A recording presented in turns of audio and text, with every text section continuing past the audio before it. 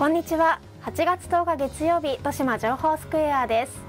この番組は火曜日と水曜日を除く毎日午前11時から生放送でお送りしている豊島区の広報番組です。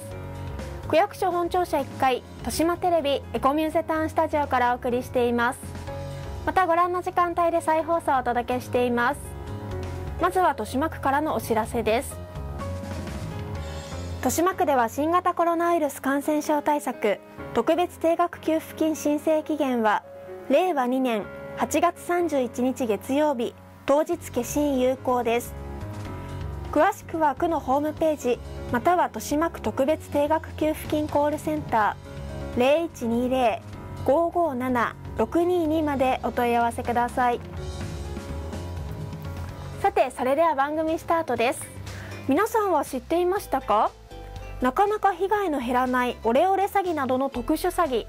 実は被害者の9割以上の方が私は騙されないと思っていたそうです。先日目白警察署管内で主婦の方が特殊詐欺を未然に防ぐというニュースもありました。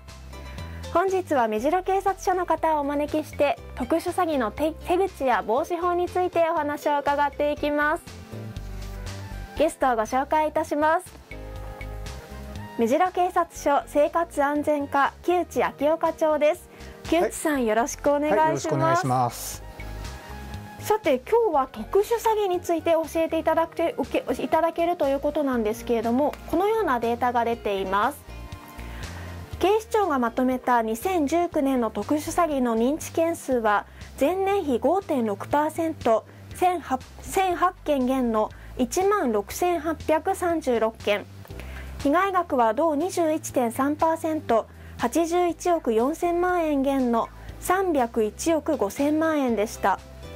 被害額は減っているものの8年連続の300億円超え300億超え300億円超えとなり1日あたりでは約8260万円が騙し取られていて深刻な状況にあるということです。さて木内さんそんな中なんですけれども豊島区の現状というのはどうなっているんですか？はい、えー、まず東京都内全体の特殊詐欺の被害発生状況ですが、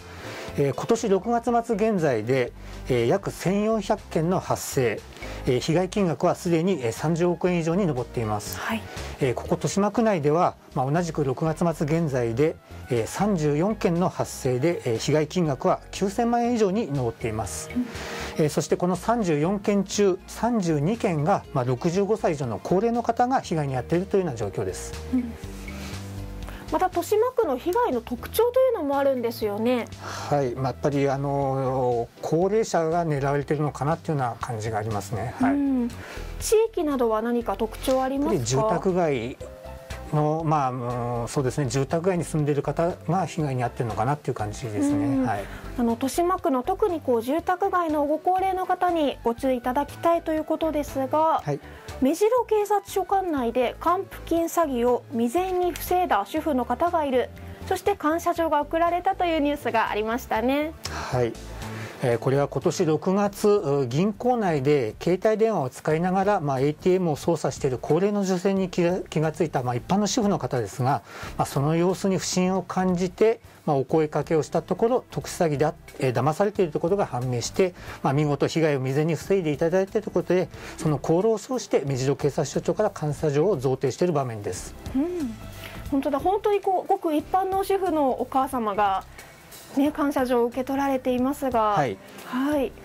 こういった方がその詐欺があるっていうことを気づいたということなんですね。はい、うん、なかなかこう一般で生活していて、身近にこう詐欺があったのかもって思っても、はい、自分はどうしていいかわからないんですけれども。うんえっとまあ、この方がですね、うん、あの ATM コーナーを利用した際、まあ、隣の高齢の女性が、まあ、携帯電話で誰かに、まあ、ATM 画面の数字を読み上げていたということに、まあ、違和感を覚え、まあ、お声かけをしたということでした、まあ、この高齢の女性の方は声をかけられても、まあ、役所からの電話だから大丈夫と言ってですね、まあ、そのまま捜査を続けそうになったんですがまた警察官が来て、まあ、説明をしても、まあ、自分自身が被害に遭っているということをあ、理解するのに時間がかかったと聞いております。まあ後で聞きますと、えー、自宅にかかってきた区役所の職員を名乗る男から、まあ、支払った医療費の一部が戻ると言われて、まあ、この ATM まで誘導されたということでした、うん、少しこう不審に思ったらすぐ声をかけてあげるっていうことが大事なんですね。はい、うん、またこう声をかけてもその方がちょっとこう気づいてくれないというかあまりこう分かってくれない場合はどうしたらいいんですか、うん、そうですね。あの、まあ、遠慮なく110番していただいて、まあ、こうやって騙されているような人がいるということで構いませんので、うん、そういった形で110番していただいて全然構わないと思います。うん、はい、分かりました。少しこう周りを見る目を広げるっていうことも大切ですね。はい、またこういった特殊詐欺はなぜ減少しづらいんですか？はいあのまず犯人グループが、まあ、高齢者の方を含めた住民のこれあらゆる名簿を持っているということがあります、うん、まあ、被害に遭った遭った方に聞きますと、えー、犯人は家族の名前を名乗ったと証言される方もいますし、まあ、警察が行った犯人の味の、まあ、捜査活動でも、まあ、このような名簿が多数確認されています、まあ、そのような現状の中で被害が減らない理由としては、まあ、大きく3つあると考えています、まあ、1つ目は、まあ、すぐに電話に出てしまうということになりますが、まあ、これは決して悪いことではないんですが、えー、電話にはすぐ出ないといけない、えー、相手に失礼に当たるということを特に高齢の方はまあ体に染みついているのではないかなというふうに思います。また2つ目は、えー、昔の黒ダイヤル式の黒電話を使っている場合やあナンバーディスプレイを見,、えー、見ないで、まあ、誰からの電話かわからない状態で電話を受け取ってし受けてしまうということも、まあ、要因があります。また減らない理由の3つ目としてはまあ、被害者ご自身が特殊詐欺という、まあ、言葉は知っていても、えー、自分は騙されない、えー、大丈夫だという思い込んでいるところで、まあ、騙されているという自覚からなかなかあ抜けられないというところが、まあ、要因にあるのかなというふうに思います、うん、そういったこうご自分は騙されていないんだって目が覚めていないんだっていう象徴的な事例もあったんですよね。はい、えーまあ、先ほど騙されかけた高齢の女性と同様にですね、まあ、犯人に言われるがまま、まあ、ATM を操作していたところまあ、画面にはあ振込金額や振込先、まあ、こういうものが表示されて認識していたにもかかわらず、まあ、決定振り込み決定ボタンを押してしまった、まあ、その上でまた犯人から、え、今の捜査ではエラーが出たからもう一度お願いしますということを何度も繰り返されて結局高額なお金を犯人側に振り込んでしまったという事例があったり、まあ、その他にもあの金融機関の窓口では、えー、まとまったお金を引き出す際は、まあ、これは警察からお願いをしてるんですが窓,、窓口の係の人に引き出し理由をお伺いしてるんですが、まあ、聞いたところ、まあ、あ引き出そうとした人がまあ怒り出して帰ってしまったりとか、うん、あと警察官が事情を聞いても、まあ、その場から立ち去って、まあ、他の金融機関でお金を引き出そうとした事例は、まあ、実はたくさん今まであります。うんなんかこう犯人側もなかなかやり方が汚いというか、ねはい、巧妙になっているのかな っていうふうな印象を受けたんですけれども、はい、そういったますます巧妙になっている特殊詐欺の手口について木内さんに解説をしていただきたいと思います。はい、大きく分けて4つあるんですよね。はい。えー、1つ目が預貯金詐欺というもので、まあ、キャッシュカード詐欺等とも呼ばれています。まあ、これは警察官だとか銀行協会また大手デパートの販売店を名乗ったあものから犯人からですね、まあ、あなたのカードが偽造されている、まあ、不正に使われているからすぐに交換しましょうなどと騙して、まあ、自宅に犯人がカードを取りに来る手口になります。え続いてオレオレ詐欺ですが、まあ、これは以前からまあ続いている手口です、まあ、親族主に息子さんやお孫さんなどを装って、まあ、お金のまあ融通を求めてくる手口になります。え次の還付金詐欺です。えー、先ほど事例にもありましたが区役所職員などを装って、まあ、医療費の還付金がある、えー、締め切りが過ぎているなどと言ってですね、まあ、ATM まで誘導して、まあ、振り込みをさせる手口になります。えー、最後の架空料金請求詐欺です。これは自宅にはがきだとかあ携帯電話のメールを使ってまあ、未払い料金があるので至急連絡するようにと伝えて、まあ、これに連絡してくる人に対して言葉巧みに、えー、お金を送金するような手口を、まあ、言います。うんこういろいろな詐欺の手口があることあるということが分かってきたんですけれども具体的に被害者にならないためにはどうしたらいいですか、はいえー、すぐ、まあ、今すぐ簡単にできることは、まあ、自宅の電話機の留守番電話機能を発揮することがまあ一番簡単です、えー、しかも電話が何度もコールしないうちに、えー、留守番電話機能になるように設定して、えー、相手が誰か確認することもポイントになります。それと本日自動録音機というものを持ってきましたがちょっと音声を流してみます。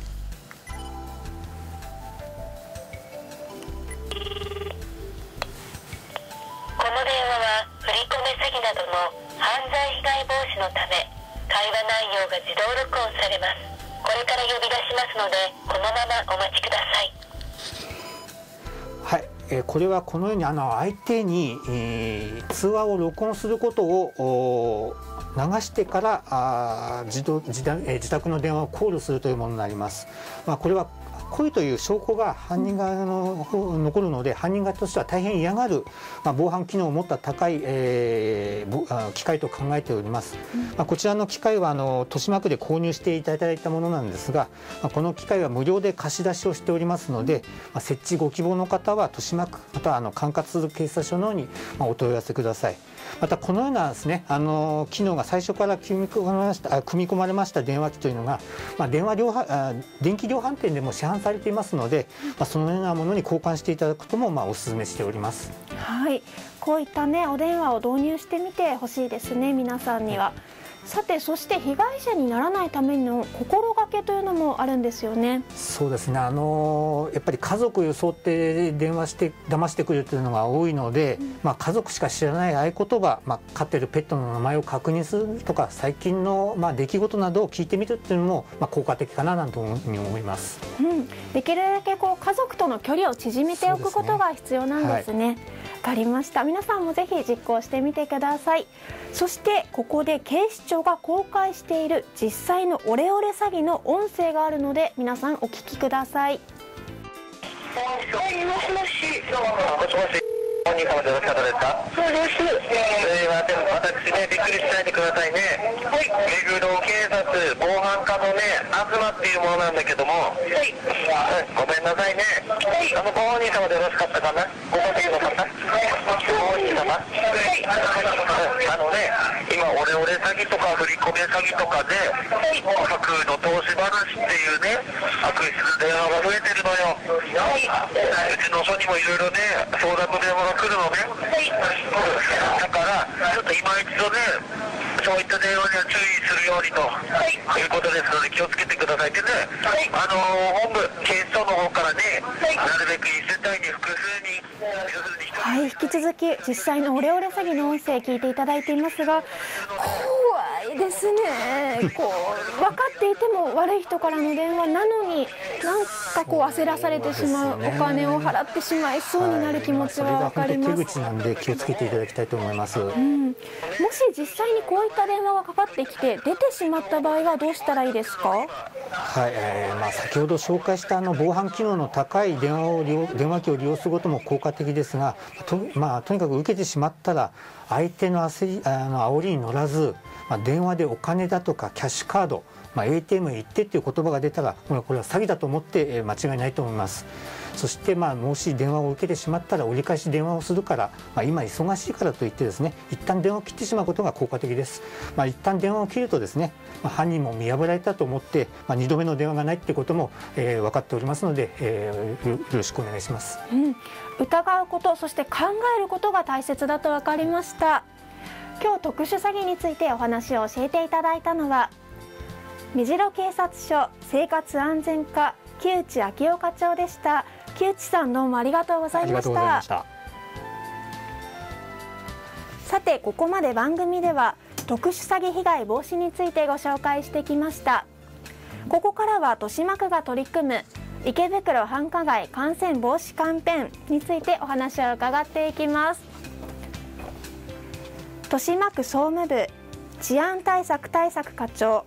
治安対策担当課長黒沢昌司さんにお越しいただきました。黒沢さんよろしくお願いします。お願いします。さて豊島区では新型コロナウイルス感染拡大防止対策を強化するために池袋繁華街感染防止対策キャンペーンというのを行っているんですよね。はいそうですね、えー、豊島区では現在、えー、新型コロナウイルス感染拡大防止対策を強化するため、えー、区独自のステッカー7マール7つの宣言の登録依頼の個別訪問など対策キャンペーンを実施しています。7月と8月にですね地域の皆さん警察、区の職員などがですね池袋駅東西の繁華街に分かれて感染拡大防止の7つの安全安心を宣言したお店に70ステッカーを配布しました。えー、現在ですね、約2100店舗以上のお店にご協力をいただいております。合わせまして、えー、池袋繁華街感染拡大防止ポスターを配布して掲示をお願いしているところであります、えー、官民一体となってですね繁華街の新型コロナ感染防止対策を実施しております、うん、こういったポスターもそうですが今ご覧いただいている7マールステッカーは安全で安心なお店ということですよね。そうですね。えー、感染の防止対策をしているお店ということでですね、えー、都の感染防止対策と合わせて、えー、ご協力実施していただければと思います、うん、こういったポスターやステッカーをぜひ皆さんも目印にしてみてください。そして池袋駅西口の駅前広場環境浄化対策セレモニーというものも行われたそうなんですがこちらはどういった内容でしたか？はいえー、こちらですね、えー、池袋の繁華街全体でですね、えー、安全安心な街池袋を PR しておりまして、え、官民が一体となって、え、西口駅前広場の安全安心を守るセレモニーを開催いたしました。え、セレモニーではですね飲酒、喫煙、長いメソビリ行為を禁止する旨を書いた注意書き、え、これを西口駅前広場に貼って、え、環境浄化に向けた決意文を参加者全員で読み上げました。え今後もですね区民の皆様と協力して安全安心な街を目指して全力で取り組んでいく方針であります。はい実際にこういった池袋駅の西口の駅前っていうのは今どのような状態なんですか？はい、えー、こちらですね、えー、酒盛りだとか寝そべりだとかですね、えー、そういったことがたくさんやられて風紀がちょっと乱れているという状況がありまして、えー、ゴミの散乱だとかですね、えー、住民の方から苦情が寄せられているという状況でありました、うん。えっと、豊島区のその池袋駅前のお店になかなか入れないことでそういったことになってしまってるんですかね。そうですね、えーまあ、お店入れないというか、まあなかなかあそこでその実際に酒盛りをしてしまっていうような状況からですね、うん、状況がちょっと良くなかったという状況であります、うん、お店でこう飲み会ができない人と集まれないからついつい池袋の駅前で長居してしまう方が増えているということなんですね。そうですね。うん、えー、夜10時でですね飲食店も閉まってしまうということもありますので、えー、ただですねあそこの西口広場では飲酒して騒いだりだとかゴミを捨てるということはやめていただきたいということですね、うん、区としてはどのような対策を考えていらっしゃいますか？はい、えー、今回第一段階としてですね注意書きを添付したんですけどもおまあ、その状況を見ながらあ区の職員それから警備員でですね、えー、こういった注意行為の声かけをしてえー、そういった迷惑にかかる行為はやめていただくという対策でやっております、うん、また今回その第一ステップとして看板がつけられましたが今後はどのように取り組みをされていきますか、はい、えー、まあ、これは状況を見ながらですけどもまずは先ほど申し上げたように、えー、区の職員それから警備員による声かけを実施してですねそういった迷惑のかかるような声はやめていただくということで環境を良くしていただきたいというふうに思っております、うん、皆さんがコロナにかからないようにすることも大切ですがまたそれと同じように周りの方に迷惑をかけないとかこう規律正しく生活するっていうことも大事ですよね。そうですね、えー、より住みやすい街、えーより良い環境のですね豊島区ということで皆様のご協力をいただければと思います。最後に見ている皆さんへのメッセージをお願いいたします。はい、えー、まあ新型コロナの感染防止とそれから池袋のですね豊島区のより良い住みやすい環境に皆様のご協力をいただければと思います。はいありがとうございます。お話を伺ったのは豊島区総務部治安対策担当課長の黒沢昌司さんでした。黒沢さんどうもありがとうございましたぜひ見ている皆さんには特殊詐欺に気をつけることそしてコロナに感染しないようにすることそしてコロナがあるからといってお店に行けないだから周りの人に迷惑をかけるそんなことのないように規律正しく過ごしていただきたいと思います。番組をご覧いただきありがとうございました。皆さん明日の放送もお楽しみに。さようなら。